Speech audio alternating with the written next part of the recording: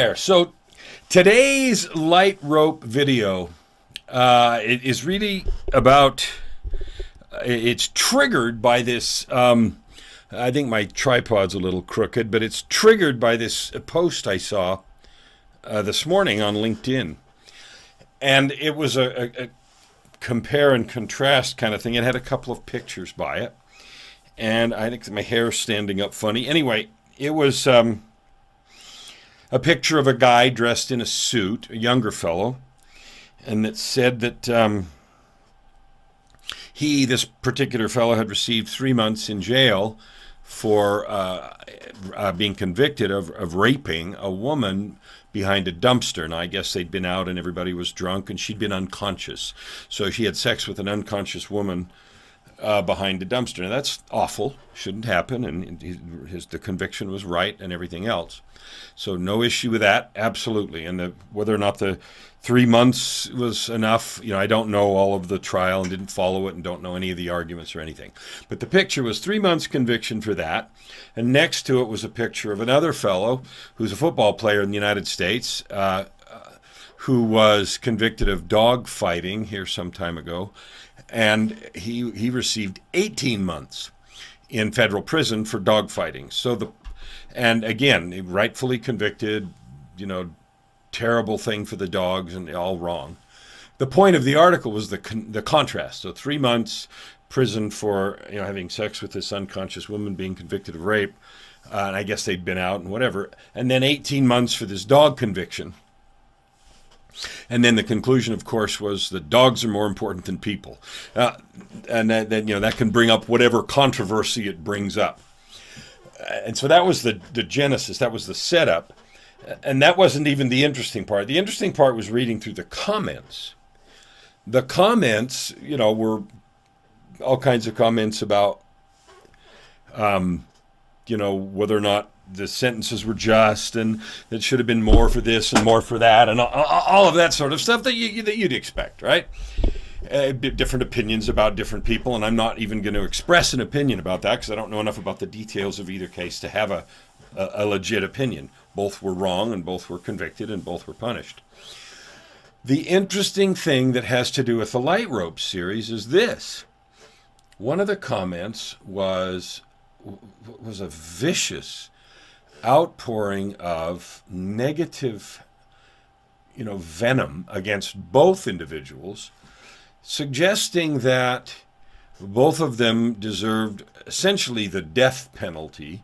They should be, you know, destroyed and buried under the prison in eternity, or at least that this individual would turn his 200 pounds of pit bulls, plural, so I guess there's a couple of them, 100 pounds each or, or something, I don't know, loose on them, with the implication, of course, that they would rip them to shreds. Then, in case anyone would be worried about that, he didn't want to sound threatening, so he said, but really, they would just lick them to death, trying, of course, to prove that his pit bulls were nice. I was shocked not about pit bulls licking someone to death, because my dogs would lick someone to death. They're not pit bulls. I got an Aussie and a Bagel, which is a Beagle Basset mix. So that was all good. Dogs licking someone to death is funny. The first part of the post, a reply, was not funny at all. It was sad, and it represented what I see a lot, which is Someone has done something wrong. They absolutely did something that was wrong, perhaps intentionally. And somehow the feeling is that the only appropriate punishment is vicious and bitter, horrific, painful punishment inflicted in perpetuity. You know, skin them alive and shot and you know, just all kinds of cruel explanations. And it feels like we're struggling to find the words to, you know, to describe the terror of the punishment they should receive. And I always, first of all, that doesn't make any sense. What seems to be the thing is that if it's something that hurts us, there's no amount of pain or suffering or money or re- remuneration or anything that could make that right. It's an infinite sin infinite pain. And that's nonsense. And uh, then it's also delivered with that sort of ultimate venom and anger. So the reason this is in Light Rope here is after reading that, I wondered, and it struck me, that you and me, I do that to myself. I rail and rip myself, and maybe you do too, to an infinite degree. Anger and you stupid. And I used to have a real habit of that. And I've been through a number of addictions, and all of those are detailed in, in the book Tightrope of Depression, which is the book that I released. If you're interested, you know you can find that on tightropeofdepression.com. A way to get, get a hold of that if that's interesting, or you can just put my name in Amazon. But the thing that is interesting is the level of negativity. Uh, I find out found I finally found out that my real addiction is to self-loathing. You know, the the place of yelling at myself and you suck, you suck.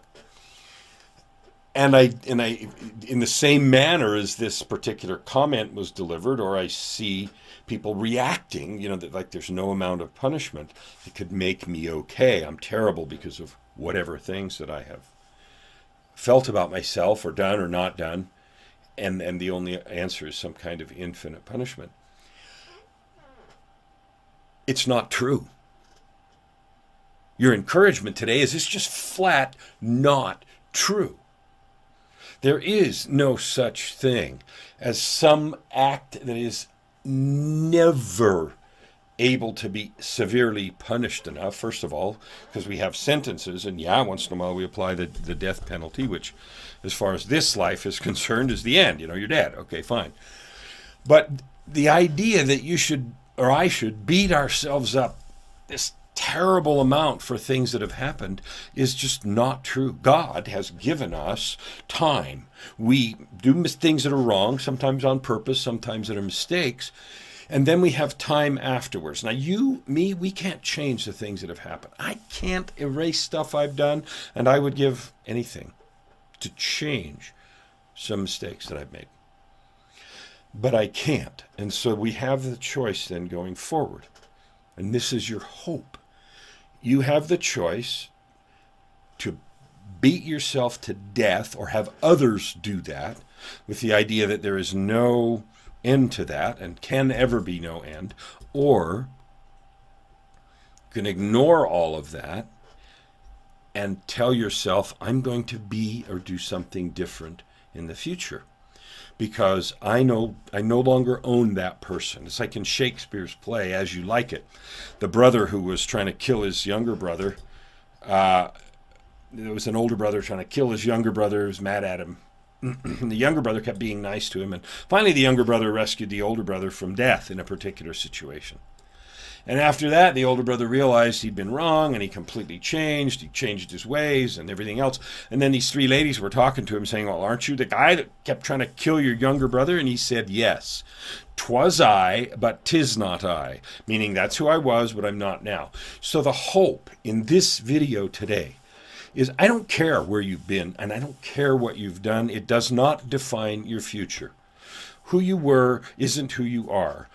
Who you are today is not who you will be tomorrow.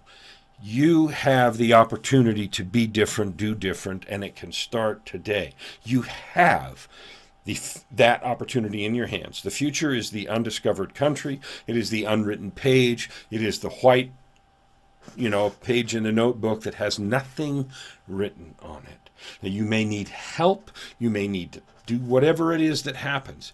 But to give up and say, it's over because of X deprives not only you of what you could be, but it deprives all of the world, the rest of us, me, of all the good that you could do. So your hope is the same hope for me, which is tomorrow, and even today, starting with this minute, tomorrow second, tomorrow hour, tomorrow day, using tomorrow as meaning the next, the next hour, second, minute, day, month, year is unwritten and in your hand and mine.